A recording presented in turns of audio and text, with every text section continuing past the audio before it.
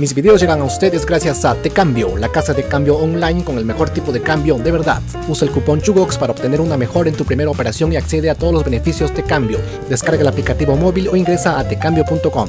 ¿Por qué el gas doméstico es tan caro en el Perú? Aquí vemos un cuadro Chile es el país donde más caro cuesta comprar gas doméstico. 15 dólares cuesta su balón de 10 kilos. Uruguay ocupa el segundo lugar y Perú el tercer lugar con 42.79 soles. Esto es un precio promedio. El balón de gas tradicional es de 10 kilogramos. Ese es el que más se usa en todo el Perú. Durante muchos años este balón de gas de 10 kilos ha costado 36 soles aproximadamente, a veces 37 a 38. Ese era su precio promedio. Pero ahora resulta que está costando entre 45 a 65 soles desde febrero del 2022. Y este precio va a depender también de la zona, de la ubicación. Por ejemplo, en Iquitos está llegando a costar 75 soles y en otras provincias de Loreto hasta 100 soles. Y esto, amigos míos, es completamente anormal. Pero incluso cuando costaba 36 soles hace unos años, ya se consideraba caro. Los peruanos considerábamos este precio bastante elevado. Incluso se llega a creer que el Perú ocupa el puesto número uno en Sudamérica en tener el precio más alto de balón de gas. Pero ¿será esto cierto? Esto lo vamos a ver en este video. Asimismo abordaremos preguntas como ¿por qué ha subido tanto estos últimos días el precio del gas? ¿A qué se debe?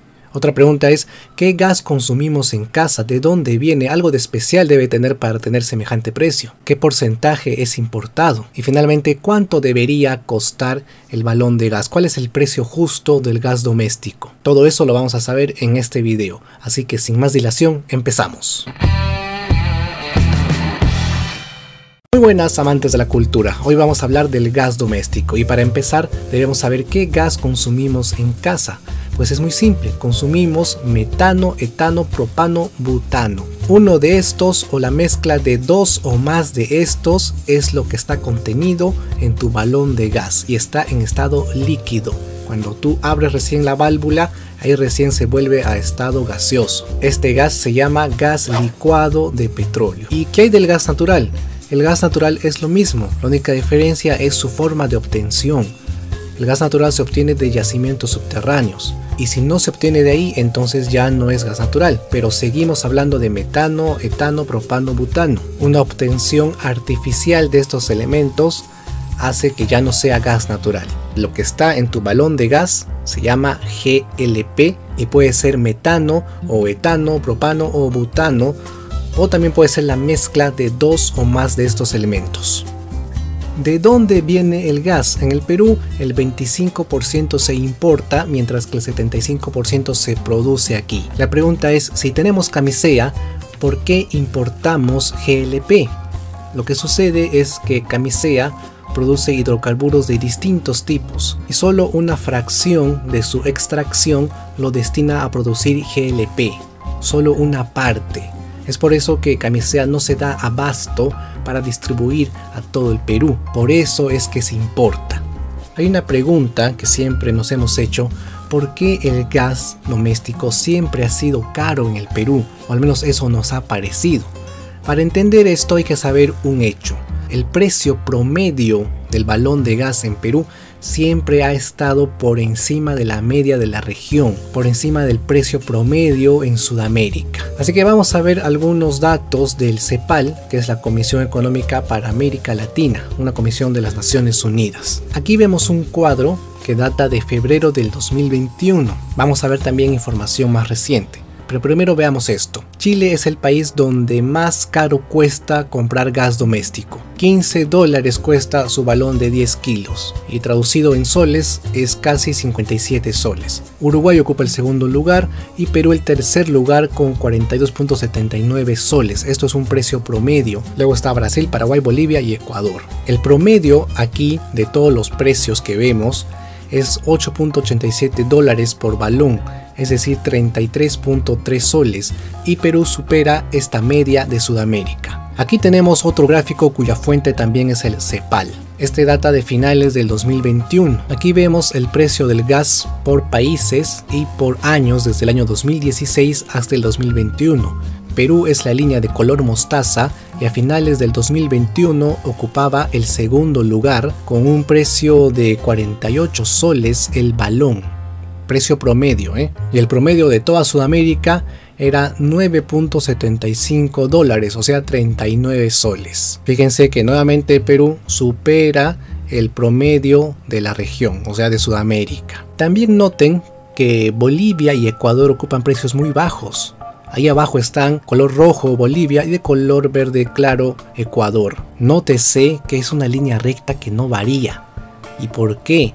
Es que en Bolivia y Ecuador hay subsidios del Estado, los cuales mantienen ese precio, bueno, a costa de un impuesto, claro está. Luego, en febrero del 2022, hace poco, el Perú alcanzó el récord de 55 soles el balón en promedio. O sea, varía entre 45 a 65, más o menos. Y sigue ocupando el segundo lugar en Sudamérica. No ocupa el primero como muchos creían. El primero siempre lo ha ocupado Chile. Chile es el país donde más te cuesta comprar gas. También quiero compartir con ustedes este gráfico del año 2016. Perú es el que está de color mostaza. Ahí dice 1.1 dólares por eh, kilogramo. O sea, 10 kilos es 11 dólares. Y 11 dólares en ese tiempo era 36 soles. Así costaba el balón de gas en el Perú en el año 2016. Y ocupaba Perú el tercer lugar después de Chile y Uruguay. El promedio de Sudamérica era 29 soles con 50. Nótese que el precio peruano de 36 supera al promedio de Sudamérica y siempre ha sido así. ¿Y esto a qué se debe? Hay cuatro motivos principales. Primero que no todo es producción nacional, no todo el GLP que se consume en el Perú es producción natural, se importa. Y ya dijimos por qué.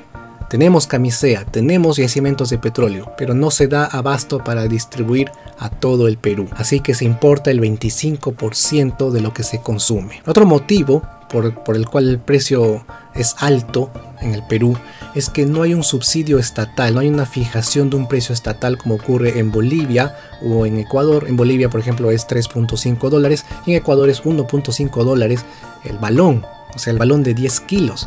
Es muy barato, pero hay que tener en cuenta que fijar un precio se debe a un subsidio y los subsidios estatales conllevan gasto público y esto es más impuestos, o sea, es una con otra. Por un lado, el balón cuesta bajo y un, precio fijo todo el tiempo, pero por otro lado te están cobrando más impuestos. Otro motivo por el cual sube el precio del gas en Perú es que justamente hay regalías, también hay impuestos, se gasta mucho en logística, en distribución, en gasoductos, en redes. Todo lo que he mencionado encarece el precio del balón de gas, incluso más del doble de lo que debería costar. Y el último motivo por el cual el precio del gas es alto es que se ha instaurado un precio de paridad internacional.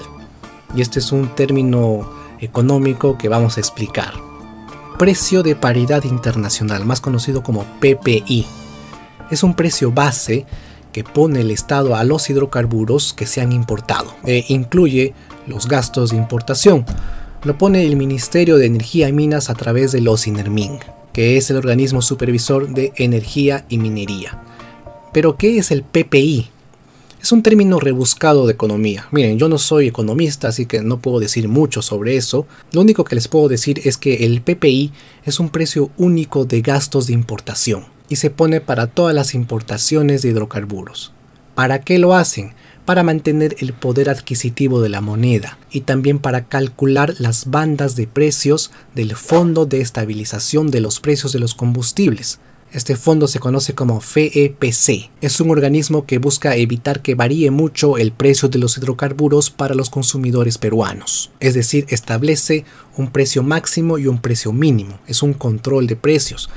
Pero en el Perú no está siendo efectivo este organismo según la Sociedad Peruana de Gas Licuado. Vean este gráfico. El valor CIF es el precio base con el que salen los hidrocarburos de la planta y luego está este precio impuesto por Orsinermin, que es un costo teórico de importación que el Estado pone básicamente para equilibrar el precio de todos los hidrocarburos, tanto importados como nacionales.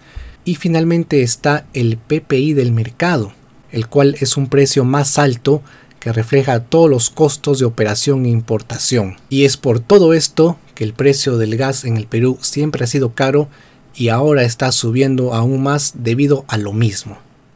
Ahora bien, ¿qué hay de camisea? Quiero mostrarles este gráfico que indica que del precio total del gas que produce camisea, el 40.7% es el precio base y todo lo demás es lo que se añade debido a logística, distribución, impuestos y regalías. Así es amigos, del balón de gas que te llega de camisea, casi el 60% se ha ido en eso, en logística, distribución, impuestos y regalías. Ese PPI que les he dicho, el precio de paridad internacional, lo que hace es igualar el precio que produce camisea con lo que se importa. ¿Cuál es la solución para que el gas de camisea cueste menos? Pues hacer gasoductos. Ya hay gasoductos, pero falta hacer más. Falta hacer una red en todo el país de gasoductos. Eso tiene su costo, claro, pero solo se hace una vez y listo. Solo así el gas costaría mucho menos, ya que la liquefacción, envasado, distribución, flete, regalías, impuestos, todo eso encarece mucho el gas. Así que al menos con los gasoductos vamos a mitigar en gran medida el alto precio que pagamos. Estos últimos meses, amigos míos, ha subido el gas de manera desorbitante. Y hay dos motivos principales, aparte de los que ya he dicho. El alza del petróleo internacional y el otro es el tipo de cambio. El dólar sigue alto todavía, no ha bajado mucho con respecto a años anteriores. Y además, debido pues a crisis internacionales, el precio del petróleo sigue al alza. Y si a esto le aplicamos el PPI, el, precio de paridad internacional, entonces lo que se produce en el Perú se iguala al precio del que se importa. Así es por ley y por eso se llama paridad de precio. ¿Qué dice ante esto el OPECU? ¿Qué es OPECU? Es el organismo peruano de consumidores y usuarios. Dice que el gas debería costar 25 soles en Perú. Pero esto solo sería aplicable si el balón de gas fuera de producción nacional únicamente. Pero no, el balón de gas el gas en general, que se usa de manera doméstica, no es solo de producción nacional, sino también se importa. El 25% se importa y el precio internacional de importación está alto, pero el precio peruano, el precio de producción peruana está más bajo. Pero debido a la paridad de precios esto tiene que igualarse y todo esto se va en impuestos al Estado. En resumen, amigos, ¿por qué sube el gas? sube debido a la inestabilidad en la banda de precios del FEPC. También sube debido a la paridad de precios internacional y también a la subida del petróleo. No está de más mencionar las altas regalías e impuestos del Estado, así como la falta de gasoductos para gas natural. Eso es todo queridos amigos, espero que este video les haya servido y si les ha sido informativo, regálame un like y compártelo. El video de hoy llegó gracias a Tecambio, casa de cambio online con el mejor tipo de cambio de verdad. Utiliza el cupón CHUGOX para ahorrar en tu primera operación y accede al programa de beneficios Tecambio, donde encontrarás descuentos exclusivos en las mejores marcas. Descarga el aplicativo móvil o ingresa a tecambio.com. Mi nombre es Hugo Javier y nos vemos en el próximo video. Hasta pronto.